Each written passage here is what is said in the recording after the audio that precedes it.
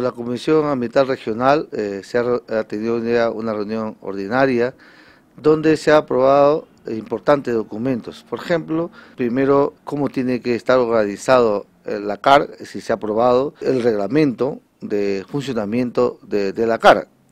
En segunda instancia, eh, lo que se ha aprobado son las políticas ambientales de la región. Entonces, esto, esto marca el horizonte, el norte de las políticas ambientales aquí en la región.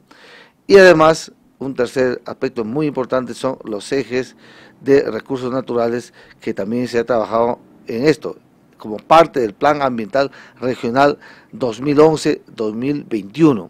Entonces, esto tiene ya una visión de largo plazo de que aquí marca la línea de trabajo de políticas ambientales en la región de Cajamarca. ¿Quiénes han participado en esta reunión? En esta reunión ha participado, aparte del gobierno regional, indudablemente, colegios profesionales, la universidad, la sociedad civil organizada, indudablemente han enriquecido el documento de la política ambiental de la región Cajamarca. Lo rico de este documento es que ha sido un proceso de trabajo de largo tiempo.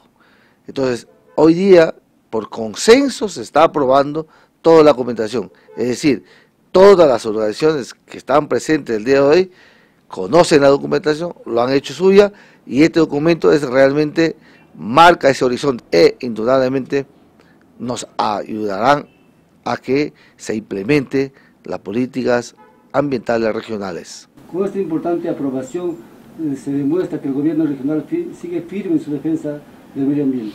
Siempre lo ha sido y siempre lo seguirá en ningún momento ha habido una duda o un retroceso en las políticas. Muy por el contrario, nosotros a través del RENAMA hemos dicho y seguiremos diciendo y además actuando en el campo y en los hechos la defensa de los recursos naturales y del medio ambiente.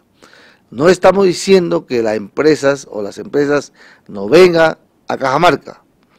Pueden venir, pero tienen que respetar la casa.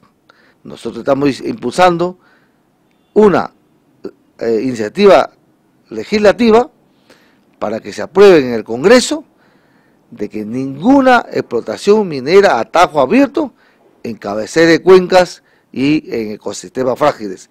Y además que se prohíba el uso de cianuro por ser uno de los más altos contaminantes al medio ambiente. Y esto quiere decir también, si hay una concesión a una empresa minera, a cualquiera, decimos que no deben tocar una sola molécula de agua en nuestras cabeceras de cuenca. Aplica la tecnología que quieran, pero no me toquen una molécula. Ese es el mensaje que damos a la región Cajamarca y a todos los que quieran venir a invertir en Cajamarca. Pero respeten a nuestros recursos y a nuestro medio ambiente.